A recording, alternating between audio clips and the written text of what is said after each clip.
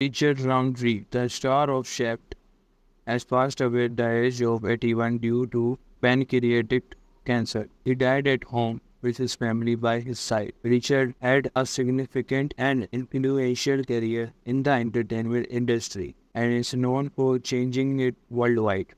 He previously battled breast cancer and became an advocate for early diagnosis. He role as Detective John Shaft in the 1971 Shaft was iconic. He also appeared in sequels and more recent projects like 2021 TV series Cherish the Day and 2023 film Thelma. Many fans and friends have expressed their condolence with Xavier Union sharing her memories of working with him. Richard Roundtree is survived by his five children.